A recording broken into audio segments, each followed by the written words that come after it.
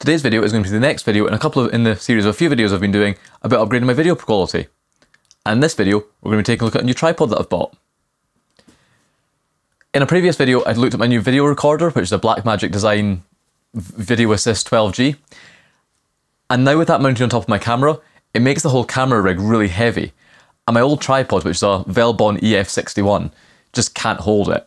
It's a relatively cheap tripod, I think I paid about £50 for it in Argos years ago, and it's more designed for photography anyway, but it's got a 2 kilogram weight limit. And with this whole rig with the video assist and everything on it, it's just far too heavy and it's not very stable. In fact, obviously I'm currently using it to film this video, and the whole thing is like quite rattly and creaky, and I'm terrified the camera's going to fall off. And with probably about three grand worth of equipment hanging on top of this tripod, if that falls off, that would be a bit of a disaster. So I've decided to upgrade it. So obviously bear in mind if you're watching this, if you're finding this through a YouTube search, I'm not a video production profes professional, I'm not a videographer, I don't do this day in, day out. So with this, I'll be giving my opinion as a general consumer who happens to do a lot of video work and what I think of it. Which could be quite useful because a lot of people are comparing this tripod to much more expensive options.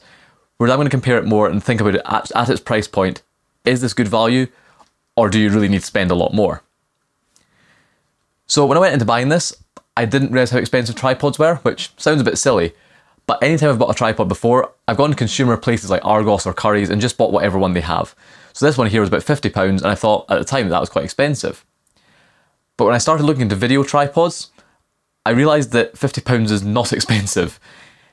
Looking at most video tripods from professional places, realistically they start about £200 and then when you start getting into the higher end ones that are from brands like Manfrotto and stuff like that, £500 is still relatively entry level. They go up to £1,000, £10,000, it's stupid. And I'm sure if you're doing it day in, day out and doing huge amounts of video production professionally and you're going to be moving it about every day and putting £10,000 camera rigs on it, then yes, that money might be worth it. But for me, doing YouTube videos at home where the camera stays stationary most of the time, I couldn't really justify that cost. So in doing my research, I came across this from SmallRig. The model number is AD01 and it costs round about £150.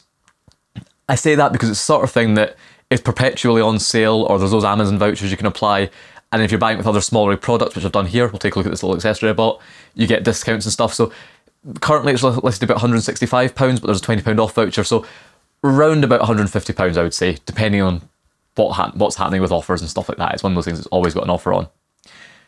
So that is a very low price for a fluid head tripod. And while this definitely will not be as good as a £500, £1,000 Manfrotto, I'm hoping it'll be good value. And when I'm comparing this, I'm going to be very mindful of the price.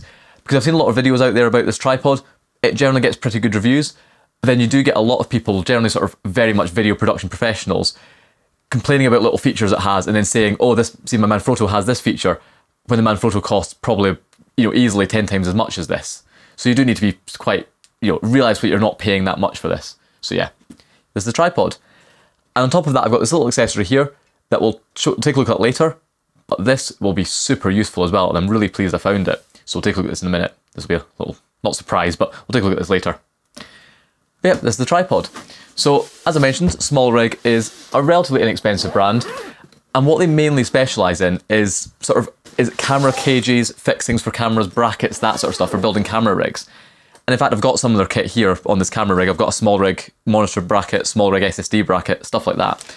So they're generally pretty good for that and they're quite well regarded, but they recently seem to have brought out this tripod. So hopefully it'll be good. So as you can see, I've not opened it up yet. What I like to do with my reviews is I like to take a look at it on camera for the first time I've seen it to give my first impressions in case there's immediate shock or surprise or anything. Then I'll go away and use it and come back and give a proper review. So it comes in this nice bag, which is actually really thickly padded, which is good. Thought this would just be a cheap canvas bag, but it is actually padded, which is nice. That's the tripod in there. Take that out. Take a look at that in a minute. And then in the back here, there's a few accessories that I can feel. So in here, we've got instruction manual, some sort of little bracket, looks like for 15mm rods, something like that. A couple of Allen keys to adjust it all. And then, ah, this is the, ah, the arm for the detachment on the head, so that's the arm there. So if we get the bag out of the way, we'll take a look at the tripod itself. Get out this bag. Weight-wise, it's not the heaviest thing in the world, but it is. It does feel substantial, which is good. You know, it's, it's not you know carbon fiber or anything, which would make it a lot lighter. but so it is relatively heavy as far as tripods go, but it also doesn't feel flimsy, which is, you know, it's good. So get that out there. Let's see what it's like. So that's the tripod. Immediate impressions, weight seems pretty good, feels pretty substantial. The metal here doesn't feel too flimsy, although we'll need to see what it's like at full height with, a, with an actual camera on it. It's got these clips. These are plastic, I was wondering on the video I couldn't tell, or photos I couldn't really tell. That's plastic. There is a bit of plastic construction, but plastic isn't bad as long as it's, you know, good quality. On the bottom you've got these feet that are adjustable, that's pretty good. And then up here you've got the head, so the head's obviously protected with this little bag, that's quite nice. Take that off. And there is the head, so that'll be interesting to try it. Obviously I'll need to get the thing properly set up and move the camera, I can't really test the tripod on the table. But you've got that head there, and then presumably around the other side, there'll be somewhere you can put that arm on it. Yep, there you go, so that's that. There's the arm, and that'll screw onto that sort of rosette style fixing there. This fixing for that does also feel to be plastic, but again, you're not really forcing it, you're not putting a lot of weight on it. Um, and this here also, again, is all, I think that's all plastic, potentially, but it does feel very good quality. If it, if it is plastic, it feels as solid as metal. I can't really tell, actually, to be honest. But yeah, so that was my immediate first impressions taking it out of the box. What I'll now do is I'll go away and set it up, try it out, and we'll come back and talk about it. So here we have the tripod all set up. Feels pretty stable. Basically, there's there isn't much flex in it. I was worried there would be.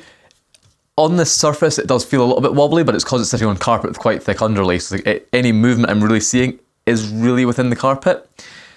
In terms of legs, they're also pretty strong. Now, they do have a little bit of flex there, and I've seen other people commenting on that. Potentially, I suppose if you go for a higher end tripod, it might not, these might be a bit more solid, but it doesn't feel any, you know, really that flimsy or anything. The one thing I have noticed is it does have quite a lot of plastic construction. So these pieces here are plastic, these clips are all plastic. And while I can't really tell about tell for the head, it's confusing. It's one of those sort of plastics that you can't really tell is definitely plastic. I think it is plastic, especially given the sort of molding and stuff. You wouldn't put this level of detail into metal, that would cost an absolute fortune.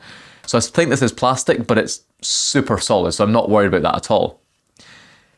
If I had to make one comment, the silver plastic does feel a little bit cheap or just look a little bit cheap. It's just painted silver. You can kind of see on the back there, it's not actually painted on the back. So that does look a little bit cheap and nasty, but personally, I'd rather have spent the money on the actual features and the functionality of it and not the aesthetics. So realistically, for the price, I can't really complain. So yep, you've got these latch on the legs. Again, they are plastic, but they're pretty solid, so you can release the leg there, and the legs slide up and down like that. Again, it's maybe not the smoothest mechanism ever, but it's generally pretty good. So you can release that, drop it down, and of course you've got one more stage below that where it will release, bring it up, where it will release a single leg instead, so you can have that come out as well if you need extra height. And in terms of height, obviously, I don't have the specs to hand, but you can read the spec sheet. This goes stupidly tall. My old tripod is the type where it has the three stages of legs and then you can also adjust, extend a piece out the a single pole out the top with a crank handle to bring the camera up higher. And I was worried that this didn't have it. However, realistically, this tripod can basically get to the point that the camera's touching the ceiling. So I think I'm okay with the height. It's definitely dead stable. Quite often when I do shots, I shoot over a table. And what I do, which you're probably not meant to do, is I'll actually tilt the tripod forward slightly, extend one of the legs a little bit longer, and have it so it kind of leans against the table for support so I can get a better top-down view. And this is perfectly solid doing that, which is good. Again, you're probably not meant to do that. You're probably meant to get proper equipment to do that, but I bodge things, so that's how I do it. So yeah, perfectly stable. It's also got this sort of spreader bar in the middle here, which is good. This is all aluminium, so this piece is metal. Middle piece is plastic, but this is all metal. And that comes out and gives it a bit more rigidity, which is good. It's a little bit sharp on the bottom, maybe a slight comment there, but again, not really a problem. So next up, you have the head, which is probably the most important part of the tripod. So on the top, you've got the quick release mechanism. So as you can see here, you've got this little knob here. This loosens it off, and when this is loosened off, the, head, the plate can slide back and forward slightly. This is really good. It has end stops, so with this unscrewed, it'll stop there, it'll stop there. You can't unscrew this and have your tripod, your camera go flying off the tripod, which is good. Then what you do to release it is there's this little switch here. You push this forward, that releases the plate, and the plate lifts out from the top. So on this tripod, the plate goes in from the top and clips down, which I really like. I definitely prefer that to the ones you'd have to like slide it in and out the front. That just gets a bit fiddlier to line up, whereas with this, you can just dump the camera straight on top, clip it down, that's locked in, and now it'll slide back and forward. And being able to slide it back and forward is quite good, because that lets you kind of adjust the centre of gravity. So obviously, ideally try and mount the plate on the camera in a position where it's centred, but this just gives you a little bit of flexibility, just try and get this balance perfectly right, which is really good. And once it's on there, you can lock it on, and that's securely in there. And now with this, you get the plates. And this uses standard Manfrotto style plates. With tripod, you get different styles mounting plates, um, Arca Swiss, Manfrotto, um, various others, can't really think of them. But this uses the standard Manfrotto plates, which means there's lots of third-party options. It means that you can also get other plates, just have spares, so you can put plates on all your cameras and swap them between the tripod, which is good. It's nice it's not proprietary. And interestingly, under here, there's a little switch that switches between standard and for RS2. Realize that's, that's upside down, but standard and RS2. Now, I can't test that, but apparently what this is, is it's compatible with plates used on the DJI Ronin S2 gimbal. So this lets you switch to use those plates instead. I'm just using a Manfrotto plate, so I'm going to leave it on standard. So that's how that works there. And then for the plate, as you can see on the bottom, it's just standard screw thread with an Allen key fitting. So you may look at that and go, well, how do you fit that? You need an Allen key. That's that's stupid. Well, actually, there's an Allen key magnetically held in the back, which is really quite neat. I think SmallRig do this for a lot of their kit, but yeah, they actually provide the Allen key and it magnetically attaches in the back, which is quite nice. So that's a quick release plate there. But then the next question is, what did I have in that little box earlier? Well, that's this. So this is another quick release plate, again from SmallRig, that I'll be using instead. So you may be wondering, well, the tripod came with a quick release plate, why did I buy another one? Did I just not realise it came with one? No, because this quick release plate has a really cool trick up its sleeve. So if we take a look at that there, you can see what's happening here now. And this is why I immediately jumped at this as soon as I saw it was a thing. It has these little legs that stick out from it that you can fold out. And it does look a bit like a drone. But this is going to be super useful because with my camera setup, it's in no way stable enough to stand on the quick release plate. Even standing on the bottom of the camera itself is enough for it to kind of get a little bit wobbly. As soon as you put it on a quick release plate, you can't really stand it up, it falls over. You need to keep it really on its side, which I don't really like doing. Whereas with this, I can attach this to the bottom of the camera, and if I take the camera off the tripod, I can fold the legs out, and that'll sit perfectly securely on a table. So this will be really, really good. Now the only downside of this is that whereas this quick release plate has, pop this out here, try to do it one-handed, there you go. Well, this quick release plate here has a little spring loaded peg here, which this is sort of used on camcorders. So a camcorder like mine, you screw one screw thread in, and then this little pin pushes into a hole in the bottom of the camera and stops it rotating. This doesn't have that. A lot of SmallRig stuff's designed for more mirrorless rigs, so building around mirrorless or DSLR cameras, which don't generally have those peg holes. So on this instead what you get is a standard quarter inch screw thread and a 3 8 inch screw head, basically the two standards you're going to get on a camera tripod. And what you do is you just screw one of those into the camera, into the camera. And if you want to remove one, which you generally would do if you're not using one, there's this little rubber plug. You pop that out like that. You can then slide the screw you don't need out, so I'm not going to need the 3 8 inch, so that can come out, and then you can put the plug back in. So because this doesn't have that push peg, it just means that I have to mount my camera purely with the quarter inch thread. Now that's perfectly secure, there's no chance of it falling off or anything. It just means that the camera could potentially rotate if I applied enough force to overcome the friction applied by the rubber pads. It's absolutely fine though, it's not really a problem. And long term, I suspect eventually once I come to upgrading my camera, my next move will probably be back to a mirrorless rig, but with a proper frame and rig around it. And if you're doing that, generally speaking, the, the way they tend to work is you'd actually have two different screws going through the bottom of the um, quick release plate to screw onto some, some sort of cage around the camera, which would be perfectly secure. So yeah, just a little sort of thing to note there. If you're using a camera that wants a push pin, you won't have that. You can still mount it, it just might rotate a little bit if you're not careful. But yep, that's it there. And as you'd expect, because it's all standardized, this will just clip into the tripod like that, screw in there, and fix exactly the same way as the standard included one. It just has that additional benefit of having those fold out legs, which I really, really like. This wasn't super cheap, it was about £50 or something, but it's well worth it. And what I would mention is if you're buying this tripod and you want to buy something like this as well, consider buying them at the same time because at the point I bought this, Amazon had some sort of discount where it was a case if you bought, I think if you bought the tripod, you got 15% off the plate or vice versa, or something like that.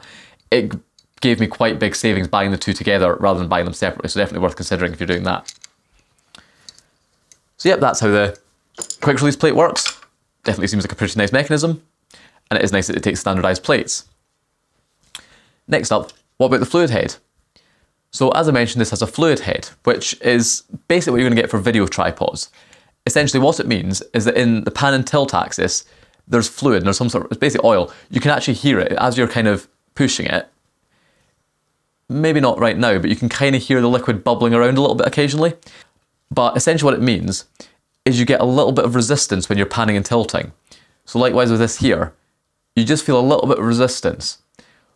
This is compared to a normal tripod like my, the one I'm using the camera on now, which is just a friction head, where basically as you're pushing, the only resistance you're getting is just plastic grinding against plastic. With this, you actually get that benefit of the fluid, which just means you're going to get much smoother panning and tilting. There is, however, a couple of things to point, point out with this, that while it is a fluid head, as far as I can tell, it's not got all the features of a 500 pound Manfrotto fluid head. So the main one is you don't really get adjustable tension. So you get the drag imparted by the fluid head, absolutely, can totally feel that there. But these knobs here are really just to lock it off, so you can lock it in a position. On higher end fluid heads, you'll have separate adjustments from the locks that will allow you to sort of set it so you can set how much resistance you want, and you can use that to adjust the speed of your panning much easier. With this, you don't really get that. You've either unlocked it, you've locked it, or if you set it kind of part way, you may feel it's a bit stiffer, but realistically what you're doing is you're kind of just grinding against the friction imparted by the locking mechanism. So it will help a little bit, but it won't be as smooth as having it on the fluid head. It's absolutely fine. Essentially what you need to do is just unlock it, and when you're panning, just be very steady with your hand and use your hand to impart to adjust the speed, not the drag adjustment, because you don't have that. But realistically, as long as you can deal with that, it's absolutely fine. So what I would say with this is if you're buying a tripod purely for heavy use of panning and tilting where that's absolutely critical, you probably want to get a better head because you're going to want something that's going to have adjustable drag on the pan and tilt axis. But for someone like me, where the camera is used mostly static, it may occasionally need to be used if I'm wanting to pan and do a bit of an artistic shot where it's a relatively rare thing I can do, it's not really a problem. Especially because the sort of stuff I do, a lot of it can be done with multiple takes, so I can easily try it again if I mess up the panning. Whereas if you're wanting to film live events where you need to critically pan, pan and tilt constantly and do it really accurately, it's all live, you can't retake things, you probably want to go for a higher end head that has drag adjustment. But other than that, it's kind of fine. The next thing this has is what's called a bowl base. So the tripod itself essentially has a bowl type, type of shape that sits under here. And the tripod head has a, a half ball, semicircle, don't know what shapes are hard, but a sort of half of a, half a ball on the bottom of it that sits in that bowl. And what this means is there's this adjustment on the bottom. You can unlock, just by unscrewing it there, and the head can then rotate around inside that bowl. And then once you've done that, you can lock it off. And if you look around the back here, you'll see there's a little spirit level to let you sort of adjust the, or check what's level. And this is really nice to have because if you're working on uneven ground, of course, what you can normally do is just adjust your legs to kind of get it roughly even. And with my current tripod, that's all I've done. I've just kept adjusting the legs until it's been right. But the problem with that is it's a bit fiddly to adjust the leg, lock it off, look, check its level. Whereas what's great with this is you can adjust your legs, get it roughly level, unlock this, and then move this around until the bubble level shows it's perfectly level, and you can lock it off again. So it just gives you that a bit, little bit of additional adjustment to get it more precise, which is really good. But this is where another huge thing that I've noticed comes in, is because it has this bowl base, which is standardized mounting, you can easily remove the head and replace it.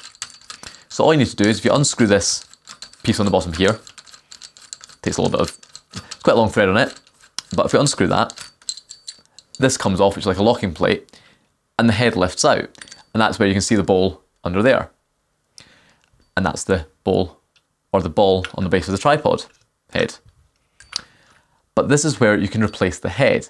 And this is where this could make a lot of sense for people, is that the head is very easily replaceable.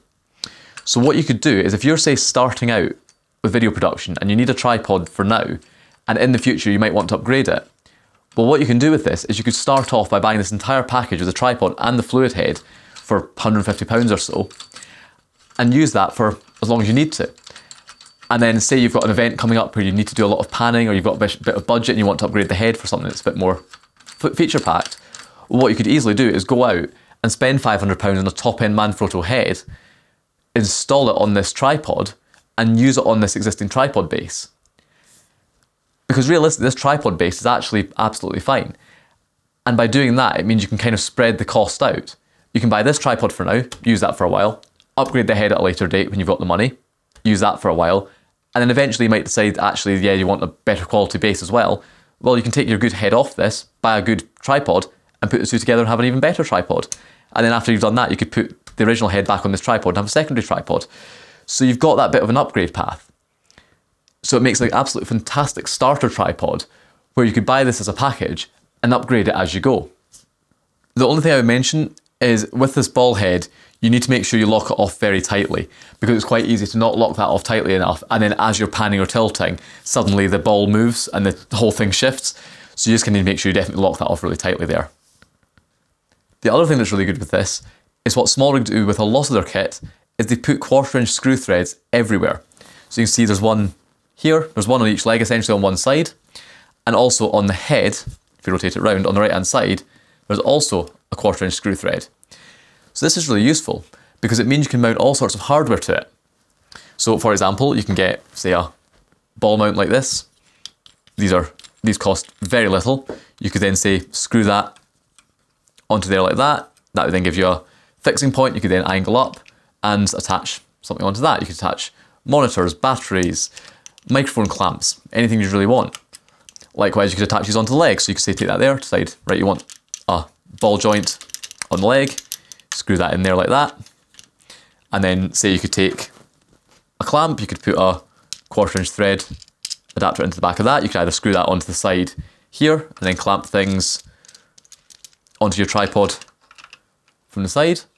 Or you could attach that onto say some sort of ball joint and have that hanging off the tripod there. It's just a really nice thing to have because it's one of those things that costs very little to add those screw threads in but it could absolutely save you in a pinch if you needed to mount something to the tripod.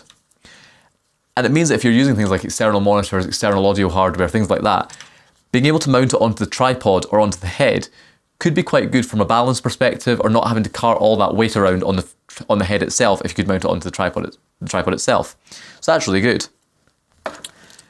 The only thing that's a little bit tricky is just with the moulding in the shape of this plastic here, is you've got this kind of shape here, and if you means if you cut with some things, like if you're screwing one of these quarter inch couplers in, you get to a point where the, the outer piece here hits the plastic before the screw's already in. So that's a little bit annoying, but it's nothing you can so can't solve with a longer screw and some sort of washer. So yeah, those additional mounting points are really nice to have. Finally, looking at the top of the head here, you can see you have this arm. Obviously this is the arm you'll use for panning and tilting but it is also adjustable. So on the right hand side here, you've got this little knob, you can undo that, and it's one of those rosette style fixings. So what you can do is you can move it around like this, move it to any position you want, tighten it up, and it locks in. And because it actually uses teeth on the underside there, once it's tightened, it's not going to slip. So yep, you can kind of use that to kind of rotate it all the way around there. You can also, with it loosened off, rotate the handle around like that because it's just a sort of rod inside the clamp there. So you can use that additionally if you want to sort of say have the angle on the arm different. So it's pretty flexible there, which is good. It also means if you want to store the tripod, because it's a fluid head, it's not like a traditional friction tripod like my current one, where all I do is just unlock the tilt, tilt the head down like that to get the arm out of the way and store it in a bag like that. With this head, because it always wants to spring back to the central position, you wouldn't want to do that. But what you would do instead is you lock the tilt off in the sort of standard position where it would want to naturally sit, and then store it away, all you would do is undo that there, move the arm down so the arm is in line with the legs, and then lock it off again. And of course, you can easily take the, leg, take the arm off and store it separately in the bag as well, which is how it came. So yep, that's how the arm adjustment works there. Okay, so now we'll quickly test it with my actual camera on it. So obviously the video and audio quality is probably not quite as good right now because I've had to swap over to my old camera and audio recorder. But got the camera set up here, and all you need to do is drop it on and lock it in at the side there. So it's dead easy to put it on and to take it off, just obviously unscrew that, push this clip forward, and it'll come off. And as I mentioned before, once it's on there and this isn't screwed in, you can slide it forward or slide it back within a sort of range there where it won't fall off. It's a bit scary doing that, but it won't fall off. But you can use that to kind of balance it, which is good. So obviously there's my camera setup. You've got the camcorder with the Blackmagic recorder on top, SSD mounted on here. And then this clamp here normally holds my microphone. So my microphone's got a big, massive XLR connector. So normally that sits in the clamp here and connects over this XLR to mini XLR cable into the recorder. But obviously I'm using the microphone right now. So yep, that's the setup there. So let's take a look at it now. Obviously on there, it feels perfectly secure, perfectly solid. Even at top height, there's no problem at all. If we unlock it, you can see you can easily tilt it down. You can tilt it literally all the way if I want. No fear with that at all. Likewise, I can tilt it back all the way. Again, absolutely no fear having it like that. I feel perfectly confident confident in the strength of this. Additionally, when it's at this midpoint, this is where you can adjust the balance. So I've basically centered this plate on the tripod, so it's on the camera, so it's pretty stable, but you can see it does naturally want to tilt forward. But all you need to do is loosen this off here, nudge the camera back a bit, and yeah, that seems fairly stable there. So you can use that to adjust the center of gravity, which is good. Now, this is where the one feature that this doesn't have that some, well, a lot of higher end fluid heads do have is, an, is a counterbalance or a counterweight. Can't remember what term to use. But essentially, with a counterbalance, it means, well, without one, you can see as you, if you tilt the camera forward and then let go, it'll naturally try and fall forward. Likewise, if you tilt it back and let go, it'll naturally try and fall back. Now, because it's a fluid head, it does mean that that is quite a smooth fall, which is quite nice. It means if you do slip and let go of it, it's not going to come crashing further forward, fall forward with a thud, monitor falls off the top, bad things happen. It is more of a slow fall. But some higher end fluid heads let you set a counterbalance, which means that in any position, it'll kind of just stay in that position with the lock off. So you tilt it back to here, let go, and it would just stay there. Or you tilt it forward to there, let go, and it would just stay in that position. That also has the benefit that you could kind of then grab the handle at any position and adjust the position it's in without having to turn the lock off. Because this tripod doesn't have that, it means if you're tilting it like that, you then need to lock it in that position. And really where the main downside of this would be is if you have something locked off like this and then you want to pan, you need to be extremely careful. If you're say doing this while recording, you need to be extremely careful to release the lock without causing a, ju a judder when the force holding the camera in position switches from the lock to your hand because unless you're applying the exact correct amount of force onto the handle, you're on the risk of taking the lock off and the camera then jumping in one of the two directions. So yeah, that's just another feature this doesn't have that's just worth bearing in mind. There's no problem with this not having a feature. That's, you know, products are, are allowed to exist without having all the features that other products do have. But it's just worth bearing in mind that some higher end fluid heads do have a counterbalance feature, whereas this one doesn't. But yeah, just worth bearing that in mind. But yeah, as you can see here, it is with the proper big setup on it, and it works absolutely brilliantly. Perfectly stable. I have absolutely no fear of having it even at quite extreme angles like that. So yeah, definitely very happy with it. So there you go. That's a SmallRig AD01 fluid head video tripod. And what do I think of it?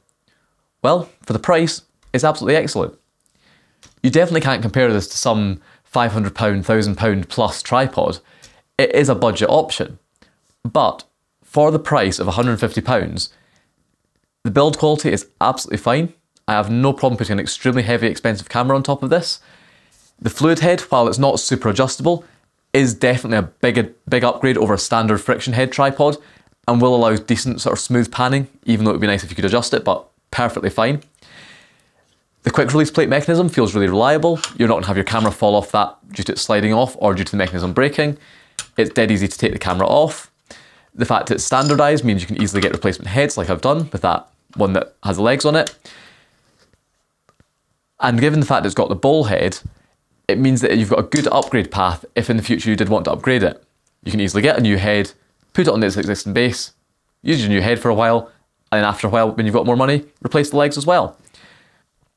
So the main thing is who's this for? If you've got a huge budget and you're working with top end kit and you're doing professional shoots, it's your, you know, it's your day job, yeah, get something a bit more expensive. But if you're a hobbyist like me, or you're just getting started, this is an absolutely great option. And it's a massive upgrade over a lot of cheap tripods. Plus, having that upgrade path means if you're getting started, you can very easily move on from this and upgrade in the future without having to spend a huge amount all at once. So yeah, I'm extremely happy with this tripod. Massive upgrade over my old one. In fact, obviously because I'm shooting this, I've had to keep using my old tripod to film this. And every time I go from using this back to that old tripod, it's terrifying because I'm just looking at that camera thinking it's going to fall off, it's going to fall off. So this is a definite big upgrade over that old tripod. And for 150, 150 odd pounds, 160 pounds depending on the price and what sales are on, you can't really go wrong to be honest. So yeah, there you go. Thank you very much for watching. And if you're interested in buying this, there's links in the description.